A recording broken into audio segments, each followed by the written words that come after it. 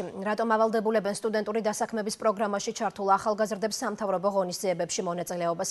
ახალგაზრდა ადვოკატები კონტროლის პალატას ფაქტით დაინტერესებას თხოვენ.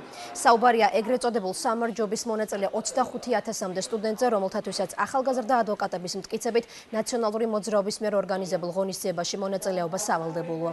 ეს არის სამართალდარღვევა და ამ მრჩევლის მოსყიდვა აცხადებენ ორგანიზაციაში.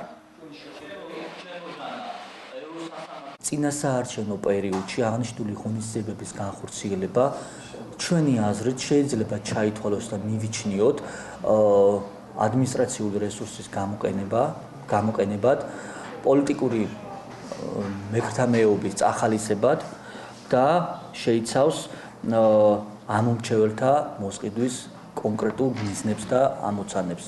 სავარაუდოდ სახეზე გვაქვს ამომრჩეველთა მოსყიდვის ფაქტები, კერძოდ სტუდენტების. ჩვენი საზრით დარღვეულია საქართველოს საარჩევნო სამართლის კოდექსი, კერძოდ 47, 48 და 49 მუხლები, რაც შეეხება ამომრჩეველთა მოსყიდვას.